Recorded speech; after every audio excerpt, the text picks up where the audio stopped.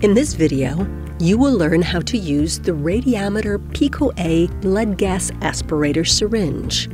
Always follow your local hospital procedure when performing a blood gas sample. Make sure you are wearing gloves. Open the blister pack. The blister pack contains a syringe with a dry electrolyte balanced heparin brick and a tip cap the syringe has a plunger stop at 1 milliliter. This is a protective feature that helps ensure the tube and plunger remain together. Take the syringe and gently press the plunger to expel excessive air.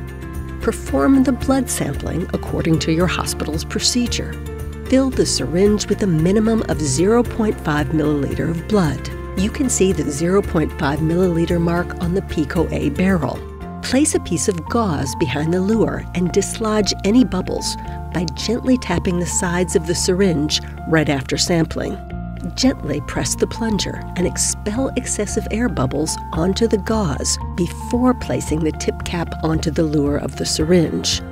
This minimizes the risk of room air contamination and contact with patient blood.